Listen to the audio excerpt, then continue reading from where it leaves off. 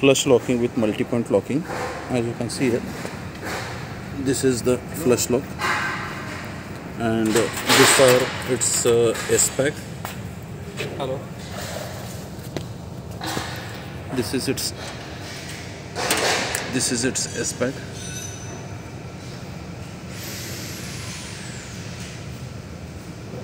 this is its connecting pin with the handle. This is another hook. Two hook system is this. And uh, these are its insert type counter plate.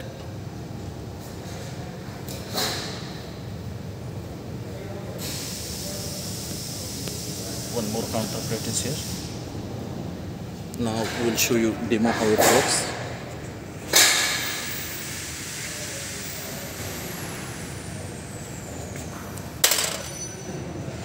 lock unlock कीजिए unlock फिर से lock कीजिए lock